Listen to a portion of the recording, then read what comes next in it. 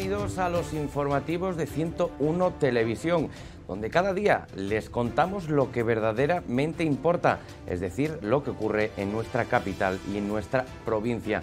Un día que viene protagonizado por Calle Carretería y su obra o la sustitución o la situación también que atraviesa nuestro litoral. Por ello, vamos con los titulares.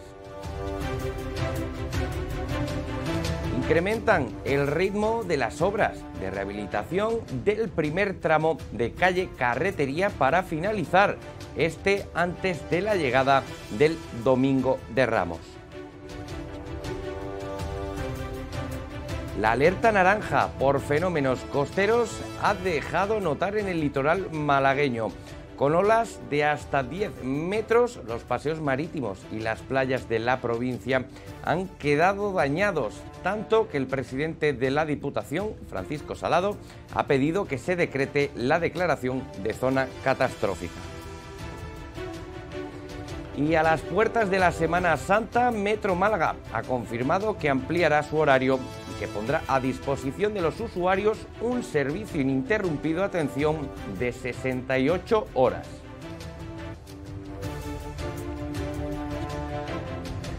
En deportes destaca que la ciudad deportiva de Carranque pasará a llamarse Ciudad Deportiva Javier Imbroda, una decisión aprobada por el Consejo de Ministros de la Junta de Andalucía, por el Consejo de Gobierno de la Junta de Andalucía dos días después del fallecimiento del consejero de Educación y Deporte, que por cierto será sustituido por Manuel Alejandro Cardenete en la Consejería de Educación de la Junta. Nos vamos hasta el centro de Málaga y es que la gerencia de urbanismo ha tenido que incrementar el ritmo de las obras de rehabilitación del primer tramo de calle Carretería para finalizar antes de la llegada del Domingo de Ramos. Una solución temporal para facilitar el paso por este punto de las cofradías en Semana Santa. De todo ello tiene más detalles Marina Prieto. Continúan las obras de peatonalización en el tramo sur de calle Carretería y esta semana los operarios del ayuntamiento están asfaltando la vía. El objetivo del consistorio es que de cara a Semana Santa las procesiones que pasan por esta calle puedan hacerlo sin problema. La finalización de las obras de la primera fase de semipeatonalización de calle Carretería ha traído de cabeza al ayuntamiento, a comerciantes de la zona, a cofrades y algún interesado más. La falta de suministros por la huelga de transportes, sumado a la imposibilidad de avanzar en los trabajos por las lluvias, han ralentizado la ejecución de esta obra que tiene que estar en funcionamiento para este Domingo de Ramos y en el que la Gerencia de Urbanismo está acelerando los trabajos con el asfaltado de la vía.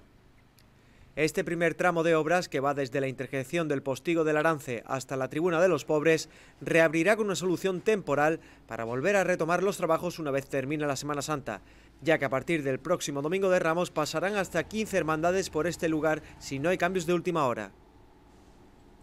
Continuamos ahora con uno de los temas del día y es que el presidente de Turismo y Planificación Costa del Sol, Francisco Salado, ha reclamado este martes al Gobierno la declaración de zona catastrófica del litoral malagueño afectado por el fuerte temporal de levante de los últimos días y ha expresado su grave preocupación ante los importantes daños que se han producido y que siguen produciéndose en las playas y paseos marítimos de la provincia.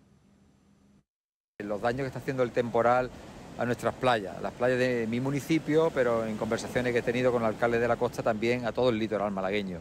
Así que hoy desde aquí como presidente de la Diputación Provincial, desde, como presidente de Turismo Costa del Sol, le insto al gobierno eh, que acometa urgentemente las primeras actuaciones que hay que realizar de emergencia para poner nuestras playas en óptimo estado, ¿no? Eh, se acerca la Semana Santa, va a, ser, complicado tenerla en buen estado, pero bueno, ya prácticamente después de Semana Santa empieza el buen tiempo, llega el verano para que se acometan las obras de emergencia.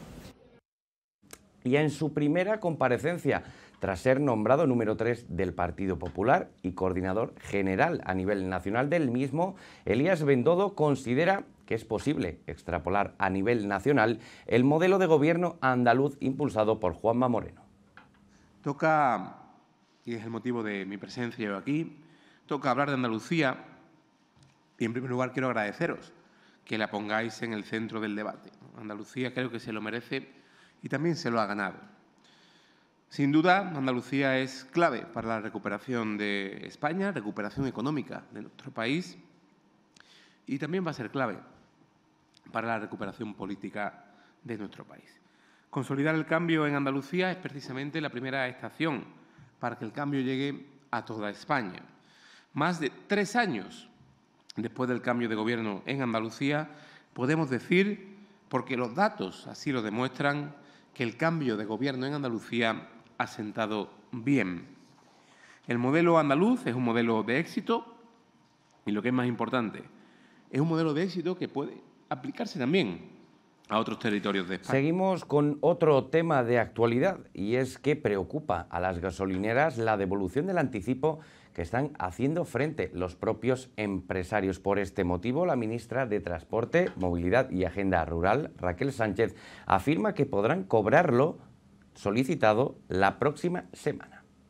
Las gasolineras están aplicando el, descuento, es, es más, yo misma he podido, he podido comprobarlo, pero, pero en fin, eh, respecto a si están cobrando ya el anticipo solicitado, mm, yo no dispongo de esta información, pero sí que el compromiso de la ministra de Hacienda era que a partir de, esta semana se podrían, se podrían realizar ya la, devolución. Entiendo, eh, perdón, la devolución no, el anticipo. Entiendo que, que si es a partir de esta semana, pues seguro que se está produciendo y siguiendo con los precios, el medio de la electricidad en el mercado ibérico mayorista se sitúa en el día de hoy un 5,22% por encima del alcanzado en el día de ayer y se colocará en 265,02 euros por megavatio hora.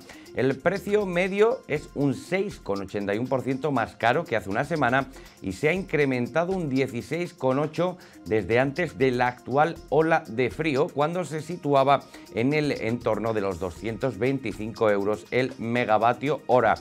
Se trata del precio más alto desde el pasado 11 de marzo, cuando se alcanzó los 284,58 euros. De esta forma, y desde que empezó el mes de abril, el precio de la luz sigue al alza.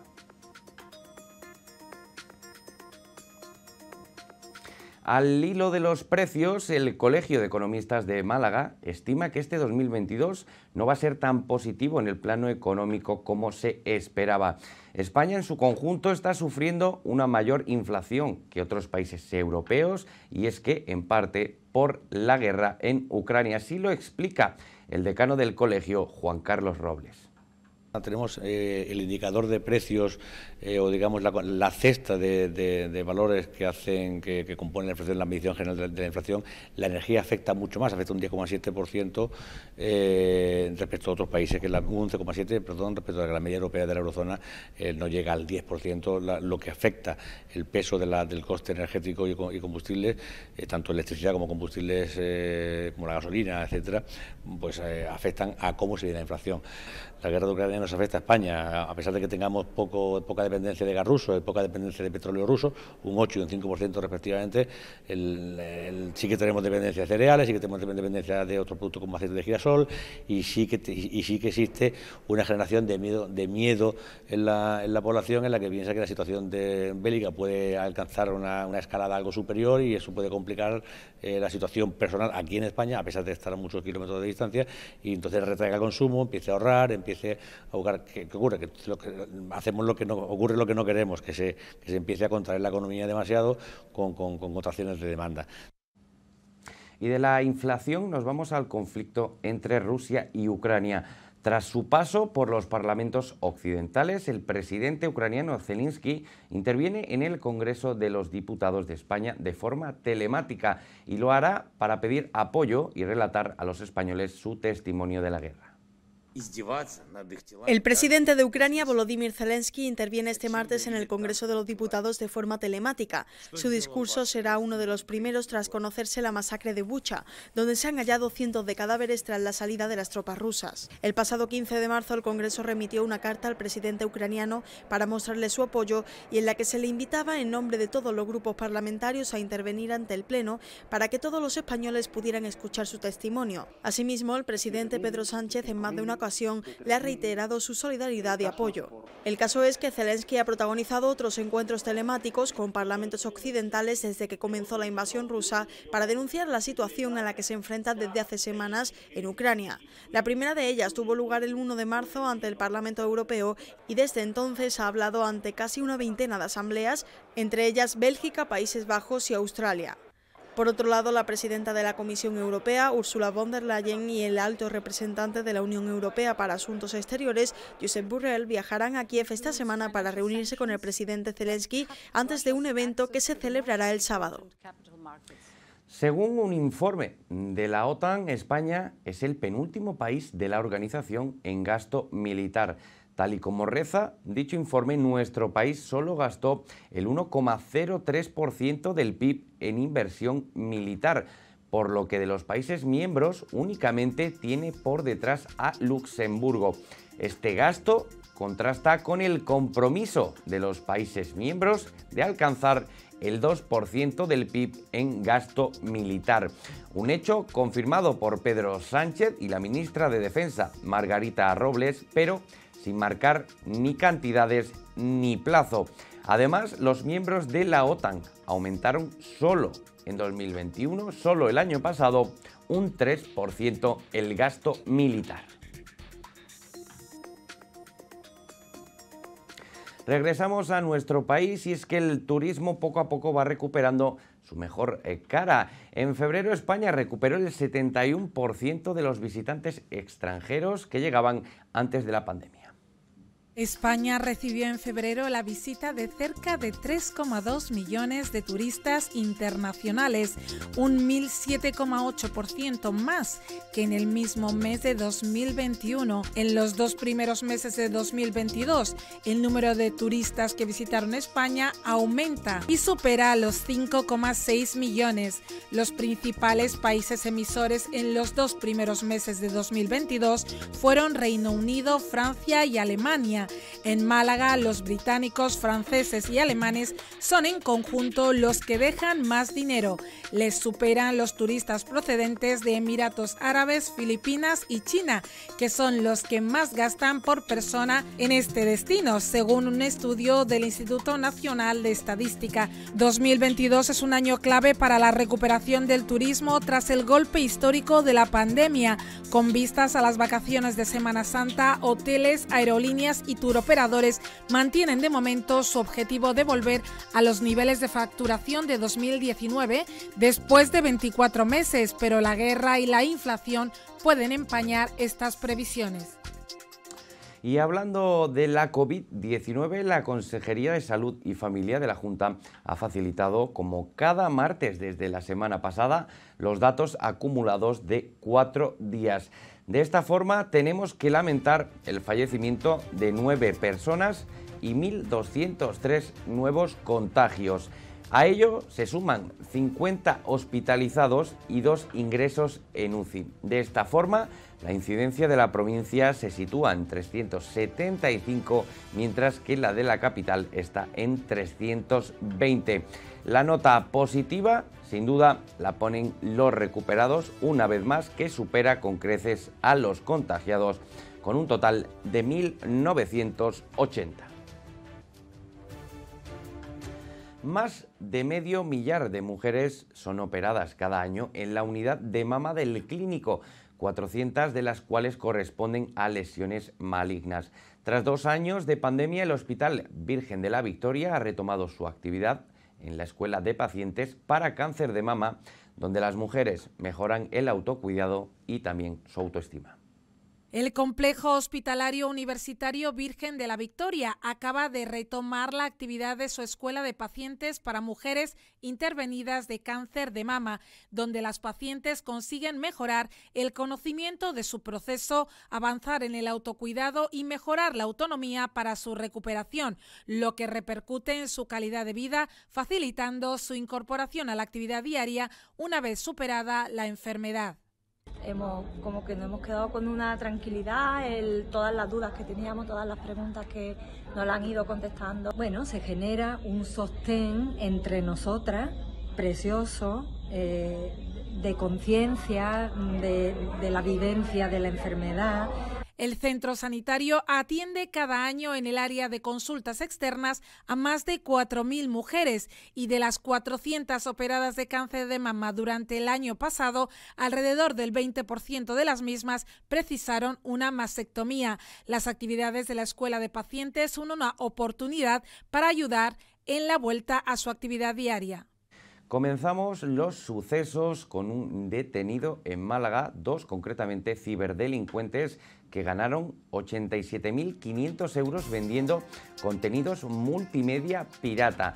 Los investigados ofrecían material audiovisual de la liga y un paquete completo de una plataforma de televisión de pago. Las pesquisas arrancaron a final de 2019 y las vías de investigación han llevado finalmente a nuestra provincia, a Málaga. Continuamos ahora con la policía, alertado de una estafa a mujeres por WhatsApp en la que simulan ser sus hijos. Los promotores se hacían pasar por los hijos de las víctimas y solicitaban dinero urgente. La policía ha detectado en las últimas semanas estafas de este tipo en diferentes zonas del país. Sus autores han conseguido defraudar cantidades que oscilan entre los 2.000 y los 26.000 euros.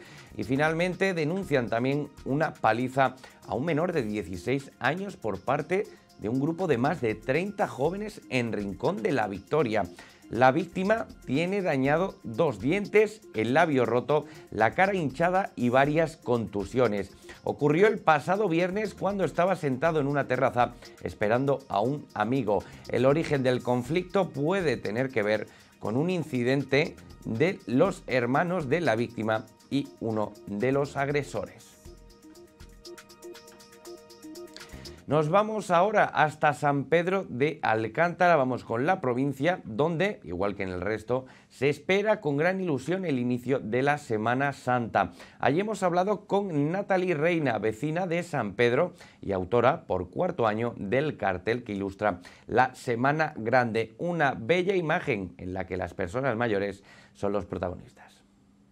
Natalie Reina es la autora del cartel de la Semana Santa de la localidad de San Pedro Alcántara, una imagen que simboliza la fe y con la que la cofradía de nuestro Padre Jesús Nazareno y María Santísima de la Soledad quiere homenajear a las personas mayores por todo lo que han vivido durante la pandemia. Este año me ayudaron los albaceas, ellos me dijeron más o menos una idea que ellos tenían porque querían también plasmar lo de la pandemia, todo lo que ha habido, todo lo que ha pasado. Entonces, más o menos, pues llegamos a la conclusión, hacer una abuelita en un balcón, con sus cositas en la mesa, para que pudiera rezar, las mascarillas, todo. Y esto es lo que ha salido. Natalie es artista local y no es la primera vez que realiza este trabajo para la cofradía de su pueblo. En esta ocasión, este cartel que refleja a una abuela observando el paso de la pollénica está realizado con acrílicos y pastel para mostrar los detalles que dotan de vida y realismo al trabajo. Para mí es muy importante mm, y si ellos me lo proponen, yo siempre estaré dispuesta a, realizar cartel y más para mm, la cofradía a la que pertenezco y a mi pueblo, siempre. También realicé, mm, me propusieron también realizar dos estandartes, que esos fueron años anteriores y siempre, siempre que pueda y pueda aportar mi granito de arena porque se lo merecen, siempre estaré dispuesta. El cartel ha tenido muy buena acogida por el pueblo de San Pedro que espera ansioso por vivir su Semana Santa. Y siguiendo con la Semana Santa, cada persona tiene una manera de vivirla. Ayer le preguntábamos por eso, precisamente, por cómo la vivían. Hoy queremos saber esas eh, vivencias sobre esta tradición, si se pierde el componente religioso, si lo consideran una cultura o no. Esto es lo que nos responden algunos ciudadanos. Que la tradición es fundamental. Mi familia era de una cofradía rival de la otra, con lo cual yo me he criado entre los capuletos y los montescos, por decirlo así. Así que imagínese lo que es para mí la tradición de la Semana Santa. Hombre, eso es tradicional de España, creo yo, en Málaga particularmente, es mucho más. Pero las tradiciones yo me gusta seguirlas. Y que sigue la Semana Santa durante muchos años las procesiones. A mí me encanta. Yo les hice una, una banda, yo tenía un taller de tapicería y le hice para una virgen. Estaba por la calle Comedia, una, una mitad muy pequeña. Y les hice un manto que me pidió de terciopelo, morado, le hice y cuando le di, les lo entregué, oh, me querían hacer también partícipe de hombre. Le gusta mucho lo que es eso, la tradición de, aquí de Málaga y la Semana Santa que, que llevamos muchos años, ya un par de años sin, sin vivirla y por lo visto este año sí la vamos a, a vivir. Estamos en los días previos y a raíz de la Semana Santa, Metro Málaga ha confirmado que ampliará su horario y que pondrá a disposición de los usuarios un servicio ininterrumpido que arrancará el miércoles santo y finalizará el viernes santo. Con una frecuencia de entre 6 a 15 minutos, el suburbano encarrilará un total de 68 horas de servicio, iniciándose el mismo miércoles a las 6 y media de la mañana y finalizando el sábado a las 2 y media de la mañana. De esta forma, el metro también ampliará el servicio comercial del domingo de Ramos, lunes, martes y viernes santo.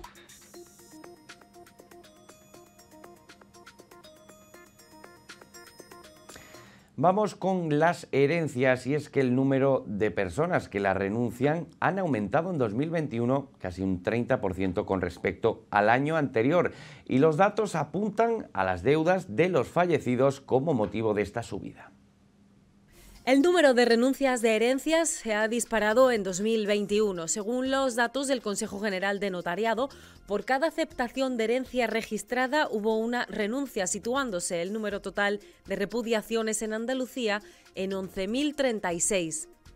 Esta cifra supone un crecimiento respecto a 2020 del 28,7%, año en el que las renuncias alcanzaron la cifra de 8.575. Si echamos la vista atrás y nos vamos hasta 2007, encontramos que la cifra de renuncias en esa fecha se situaba apenas en 1.417, un dato significativamente inferior al de 2021. El incremento de las renuncias está motivado por la mortalidad a causa de la COVID-19 y las deudas de los fallecidos a las que tendrían que hacer frente los herederos en el caso de aceptar la herencia. En contraposición a las renuncias, las herencias aceptadas en 2021 fueron 54.446, un 17,68% más que en 2020. Málaga necesita 300 nuevos conductores de autobús para cubrir la demanda de la temporada alta. Por ello, la Asociación Provincial de Empresarios del Transporte ha impulsado un plan de captación y formación de interesados para ejercer de conductor en alguna de las empresas de nuestra provincia. La provincia de Málaga necesita 300 nuevos conductores de autobús para cubrir la demanda de la temporada alta.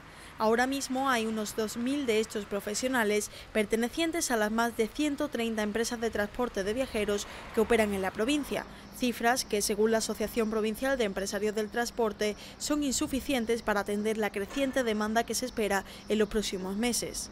Desde dicha asociación señalan que la falta de personal especializado es una situación que viene a agravar la última crisis y ataques que ha sufrido el sector provocada por la pandemia, la subida de costes o la escalada imparable de los precios de los combustibles. Así, con el objetivo de formar a más conductores de autobús, la Asociación y Autoescuela Torcal han firmado un acuerdo de colaboración por el que se va a diversificar la oferta de formación para aquellos interesados en aumentar su cualificación, habrá descuentos para la obtención del carné y bolsa de empleo. Además, se ha instado a la Consejería de Fomento de la Junta de Andalucía para que impulse planes de formación y empleo en esta materia. Seguimos en la provincia y es que el próximo 9 de abril se celebra la tercera edición del Pipeo en Casarabonela, una fiesta en torno a un plato típico de esta localidad de la Sierra de las Nieves. Pues en el Día del Pipeo el motivo más importante es homenajear a nuestros antepasados. Ellos fueron los protagonistas en aquellos años de necesidad en los que hicieron este exquisito plato a través de los productos que cultivaban en la huerta y los cuales eran recogidos por sus propias manos y tuvieron esa maravillosa idea de hacer esta mezcla culinaria y el resultado pues fue el pipeo. El ingrediente principal es la pipa fresca de la haba, también va acompañada de otra peculiaridad que tiene el plato, que no es muy habitual ver lechuga cocinada, y también tiene alcachofa, guisante y una tortilla de pan rallado, que es lo que le da un poco de consistencia al plato y que según tenemos la referencia de nuestros antepasados, en aquellos años de necesidad es lo que sustituía a la carne. y Casarabonela es una cita ineludible para todos los malagueños este próximo sábado día 9. Estamos a 30 minutos de la capital e invito a todos los que nos vean a que conozcan este pueblo típico morisco. Somos pueblo perteneciente al recién nombrado Parque Nacional Sierra de las Nieves y Casarabonela pues la puerta de entrada desde el Valle del Guadalhorce hacia el Parque Nacional Sierra de las Nieves. Daniel Bulnes Roldán, un estudiante malagueño del Instituto Albaitar de Benalmádena, ha conseguido una de las cuatro medallas de oro otorgadas en la decimoséptima Olimpiada Española de Biología que tuvo lugar el pasado fin de semana en Oviedo. Hasta la ciudad asturiana se desplazaron casi un centenar de alumnos andaluces de segundo de bachillerato que durante tres días se han enfrentado a 150 preguntas teóricas tipo test y a cuatro pruebas prácticas de laboratorio. Finalmente, el de Benalmádena se ha clasificado entre los cuatro primeros y representará a España en la 33 Olimpiada Internacional de Biología que se desarrollará del 10 al 17 de julio en Armenia, donde estamos seguros de que dejará el nombre de Málaga por todo lo alto. Sin duda, todo un orgullo para nuestra provincia.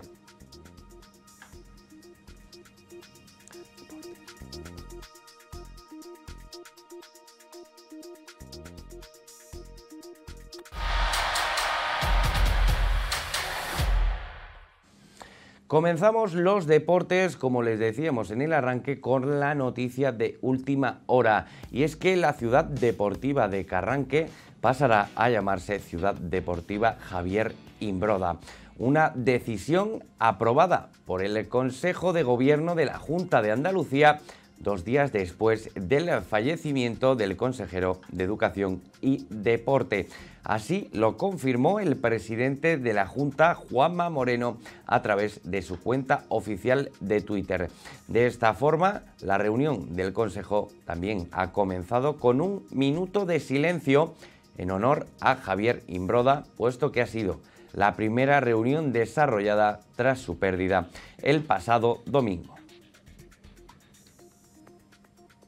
Coín volverá a ser la capital del ajedrez esta próxima Semana Santa 2022.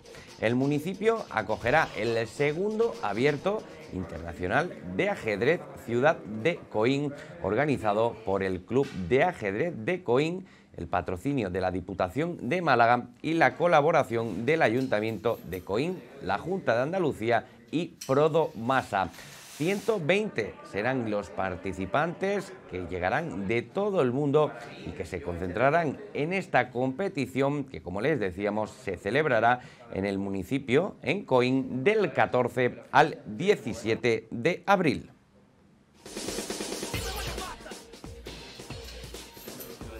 El ajedrez, como no puede ser de otra manera, eh, una de las eh, disciplinas deportivas más importantes de nuestro municipio tenemos grandes campeones a, escalas inferiores. Seguramente en los próximos años, gracias a ese trabajo que se hace de cantera por parte del club, lo vamos a tener en las categorías eh, superiores y yo creo que, es fundamental, pues como decía, se apuesta por el deporte, pero también por el turismo. Si vienen 120 personas del resto del mundo a visitar nuestra localidad, también es importante ese conocimiento a nivel turístico que va a tener nuestro municipio en el panorama internacional. Coín va a ser esa capital del deporte, en este caso del ajedrez, eh, desde el día 14 al 17 de abril. Desde la Diputación Provincial de Málaga y como concejal de deporte es un auténtico orgullo poder tener en Coín bueno, a los mejores jugadores de ajedrez del mundo y sobre todo en un municipio que tanto está trabajando por este bonito deporte y que tan buenos resultados está obteniendo. Lumon, los cristales que se ponen en las terrazas, patrocina el tiempo.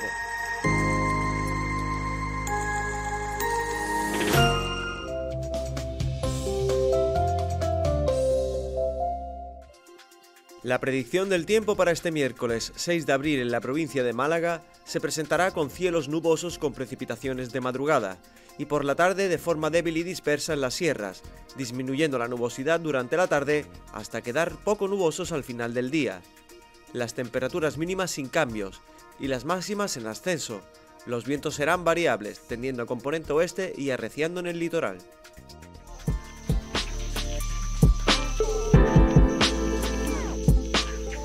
Y ahí tenemos esa imagen de Ignacio de la Vega en la que podemos ver la comarca de la Asarquía. Saben, como siempre les recordamos, que pueden compartir todas las postales, las mejores imágenes del tiempo de la provincia al número de WhatsApp que tienen en pantalla.